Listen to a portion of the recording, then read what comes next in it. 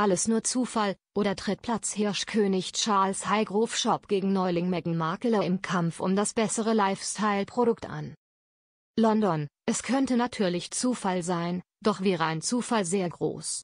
Was als harmloses Marmeladenmatch begann, wächst sich allmählich zu einem kleinen Wettkampf um die bessere Luxuslinie aus. König Charles ist der Platzhirsch, da bereits Queen Elizabeth II etwa royalen Ketchup verkaufte, um nur eins von vielen Waren zu nennen. Meghan Markle hingegen ist mit ihrer Lifestyle-Marke die Newcomerin. Auffällig ist, dass Highlights der beiden fast gleichzeitig auf den Markt kommen. Meghan Markle launcht Hundekekse und Marmelade kurz vor Prinzessin Kates Comeback. Will man die Phase seit Megans Verkündung im März als Wettkampf betrachten, teilte die Herzogin von Sussex den ersten Hieb aus. Mit Hundkeksen und Marmelade trat sie ausgerechnet nur wenig Zeit vor Prinzessin Kates erstem Auftritt nach monatelanger Abwesenheit wegen ihrer Krebserkrankung an die Öffentlichkeit.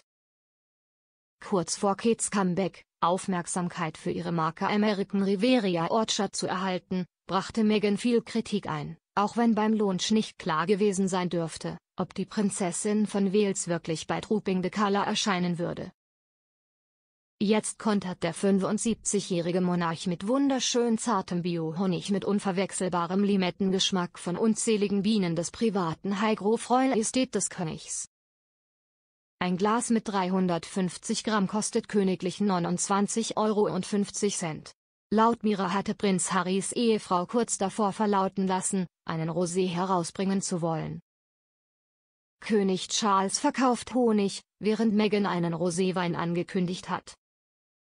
Doch während des Königs Honig über seinen Highgrove Shop Geld sammelt und für wohltätige Zwecke spendet, arbeitet Meghan wie die Daily Mail vermutet, für die eigene Tasche.